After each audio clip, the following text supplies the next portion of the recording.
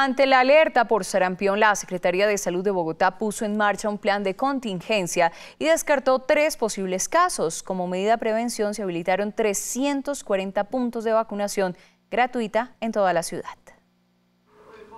En Bogotá ya han sido estudiados y descartados posibles casos de sarampión en venezolanos. Y es que la capital del país es una de las ciudades con mayor número de migrantes de Venezuela. Por ello, el factor de riesgo de esta enfermedad es alto.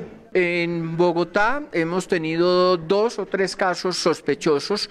El último fue en el día de antier, que finalmente se confirmó que no era un caso de sarampión, pero vuelvo y le repito, no importa si hay la duda, hay que hacer la investigación para poder actuar rápidamente y en los alrededores donde estaba ese caso o ese supuesto caso, pues poder hacer las medidas de control que básicamente consisten en un cerco, vacunando las personas a los alrededores y controlando lo que puede ser un brote futuro. Las autoridades distritales de salud hacen un llamado a los habitantes de la ciudad para que tengan al día las vacunas, pues se estima que unos 10.000 menores de edad no tienen su vacunación al día, siendo los más vulnerables a esta enfermedad las edades entre los 0 y los 12 años hay aproximadamente unos 10.000 niños que les falta completar ese esquema de vacunación y por eso estamos haciendo ese llamado, especialmente segundas dosis, segundas dosis en niños menores de 12 años. Desde junio del año pasado, una serie de jornadas a población eh, venezolana,